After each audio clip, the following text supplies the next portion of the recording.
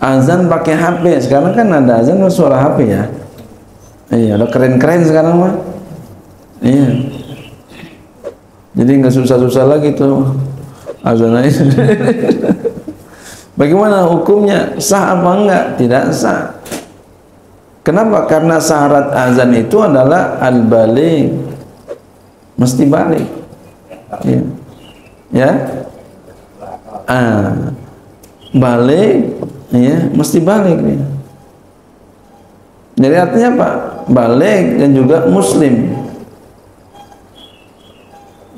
Jadi balik muslim artinya apa? Orang bukan?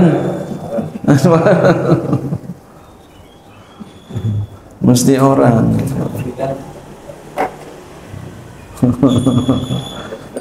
Iya kalau buat azan ya nggak boleh mesti orang karena syaratnya itu balik muslim. Kecuali bapak mau tarhim nungguin subuh. Ya pakai kaset dan nggak apa-apa itu mah. Walaupun rada malesan dikit itu ya.